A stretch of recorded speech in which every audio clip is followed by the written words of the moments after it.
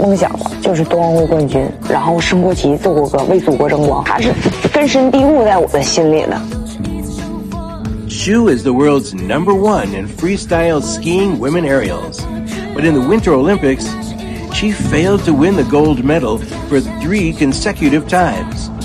If she waits another four years, she will be 32 years old.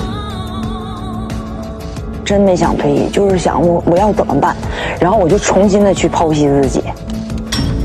She was not satisfied with her previous achievements. Her only wish now is to win the first gold medal for the Chinese women aerials team in the Winter Olympics and see the Chinese national flag flying at the top. 我我印象中，我不知道什么是奥运冠军的时候，我就想拿奥运冠军。